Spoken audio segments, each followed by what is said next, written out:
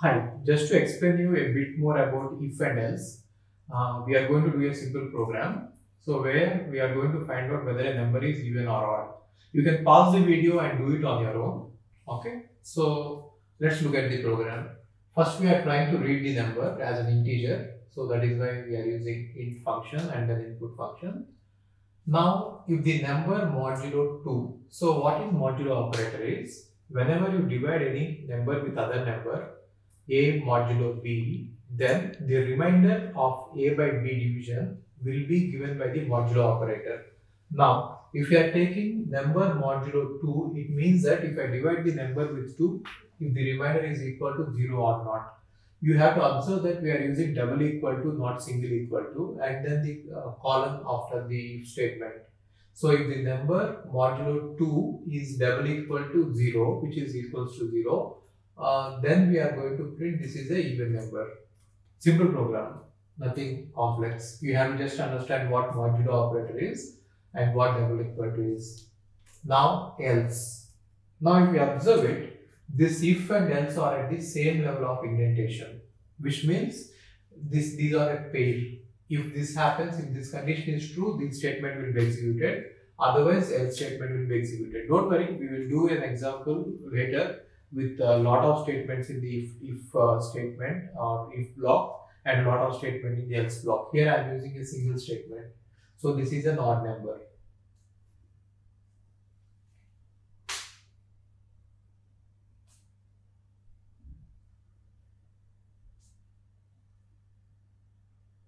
Okay, so we have used a different file name.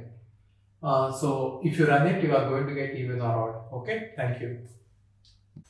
Hi, in one of the previous examples, we have seen that how to calculate BMI, weight divided by height square. Height has to be in meters and weight has to be in kgs. Now, according to the BMI, you can classify people to be into four categories. If the BMI is less than 18.5, it is underweight. If the BMI is around 18.5 to 25, it is normal weight. And if the BMI is from 25 to 30, it is overweight. And if the BMI is greater than 30, it is obese. Now, let's try to display not just the BMI, but also what type of person he is, obese or normal weight or underweight. Okay. So let's look at the program. So this is the previous program that we have written. We, we are reading height as a float and weight as a float and we are computing weight divided by height square and we are rounding it off to the nearest integer. Okay rounding we are using. Now after that we are going to compute uh, the range of the according to the number we are going to say whether he is underweight or overweight. So if you see this if bmi is less than 18.5 we are printing that he is underweight. If the bmi is less than 25 we are printing that he is normal weight. Less than 30 it is overweight. And less than 35 it is obese. So why and otherwise it is clinically obese else.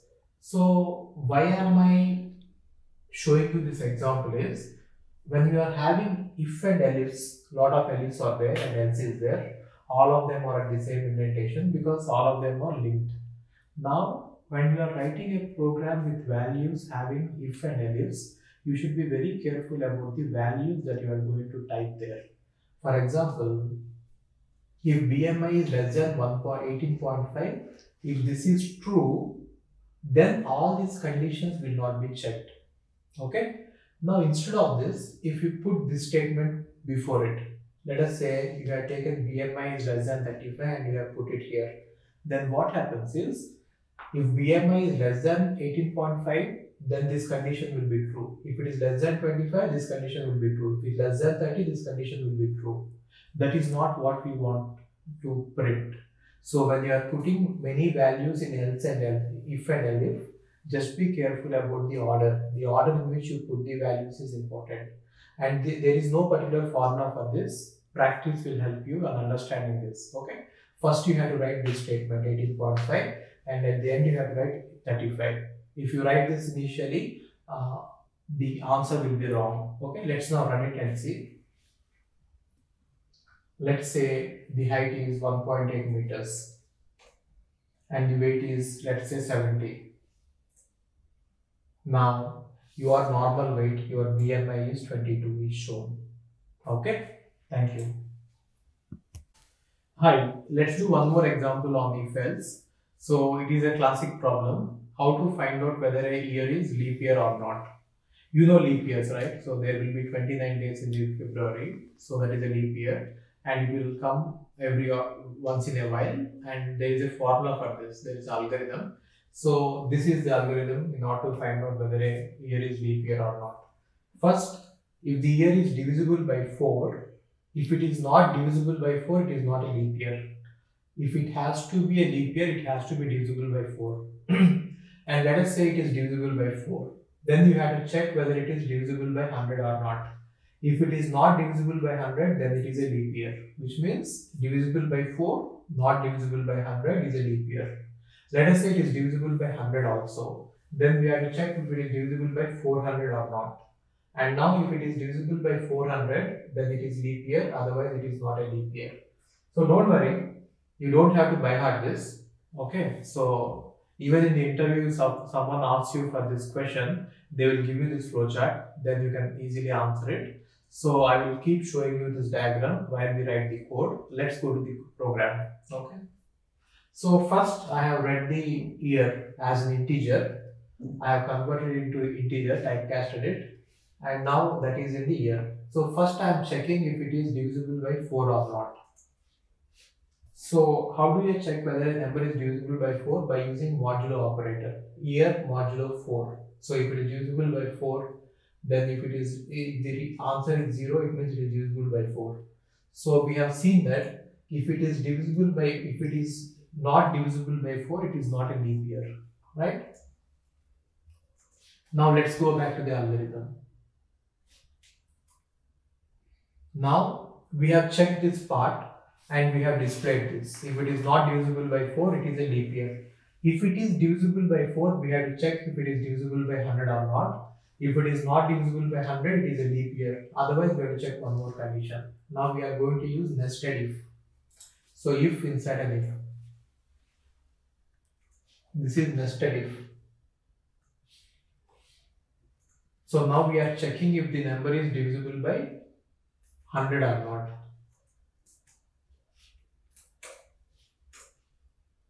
If the number is not divisible by 100, then it is a leap year.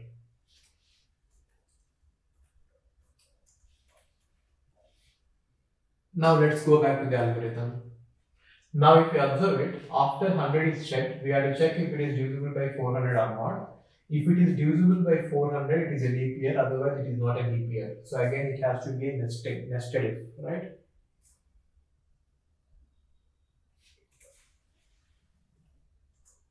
If the year is divisible by 4, sorry 400,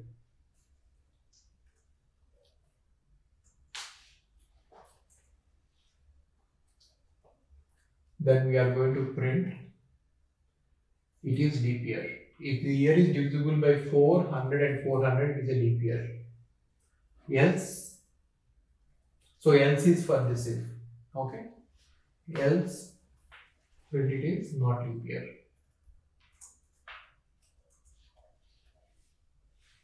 Now let's run it. I know that 2000 year 2000 is a leap year. So let us enter 2000. Yes, it is a leap year. Now let's run it one more time. Let us give 1999, year 1999. It is not a leap year, so it is not a leap year, right? So you don't have to by heart the algorithm. You don't have to by heart the program also. If they give you this program somewhere to write it, you can Google out the algorithm and run it. Otherwise, you can they will provide you the algorithm in the exams if they ask you this. Okay, thank you. Now we'll see one more example on if and else. So it is a pizza order program where user will be asked to enter what type of pizza they want. Small, medium, large. So large pizza is 300, 200, something. We'll, we'll assign some numbers like this large is 300 medium is 200 and small is 100 okay now if they want to then we will ask them whether they want to add pepperoni or not in case if they say that they want to add pepperoni then we are going to say we are going to add for small pizza 10 rupees and for medium and large we are going to add 20 rupees. And similarly we are going to ask whether they want a cheese extra cheese or not. In case if they want extra cheese we are going to add uh, 10 rupees to all the pizzas. Okay. So finally we want the final bill what whatever has happened. This is this program is just to illustrate if else conditions. Okay. Now if size initially bill is initialized to 0 and we are going to manipulate it and now if the size is uh, small which means if they have ordered small pizza then the bill is going to be 100 rupees you need not write bill plus equal to 100 here you can directly write bill equal to 100 but anyway since we are going to add a lot of things to the bill it is better that you follow this convention and if uh, else if the size is equal to medium then the bill is going to be 200. So if you observe it, we are using if and else. So which means only one condition is going to be executed. Here we have used if and else, right?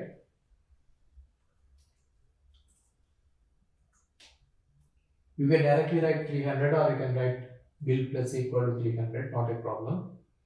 There's a small problem here. See, we are asking user to enter only three letters S, M and L in the capitals. Now we have got capital, if we have got capital S, capital M, we are saying what to do. But here, you know, we are writing just else, which means whatever the user prints, if he prints small s or small m, it will go to else statement. So it is better to write elif. Later we will see how to deal with small letters and capital letters, but it is better to write elif here so that uh, you can it will be clear and there is no need of else. So remember that in case of if, else and else, there is no need of if, else at all the times. For example, you can write like this, if size equal to L, you can directly write so that you know there will be no scope for errors here. So if you write like this, there is no scope for errors. But anyway, later we will see how to deal with errors. Now, if the pepperoni is added,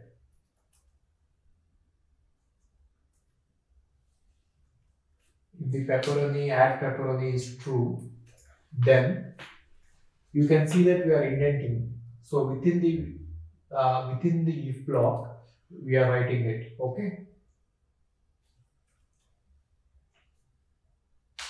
We have to check whether the order is small or medium or large.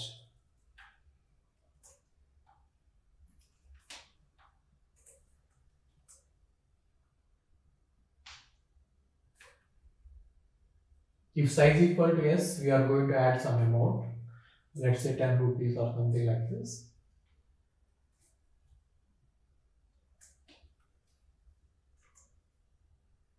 Here we have to write bill plus equal to because it is already initialized to some number. Here we have to write plus equal to, which means bill equal to bill plus 20. So you are writing else which means if it is medium or large, we are adding 30 rupees, let us say. Now if you observe it, here also there is a scope for error. So if the size is S, then we are going to get this. If the size is uh, other than S, we are going to go to else. There user might have entered something wrong, then it will go to the else part, else part without giving you any error. You have to handle it. Okay. Now, extra cheese equal to y, which means if the user has asked for extra cheese, then irrespective of the size of the uh, pizza, we are just having, we are just adding 10 rupees. Okay. And finally, we will find, we will print the bill in a string.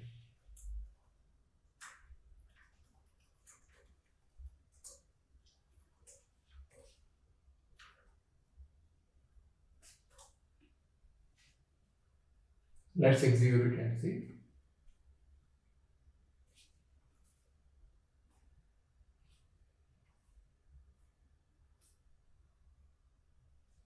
So it is asking whether what kind of what size of pizza you want.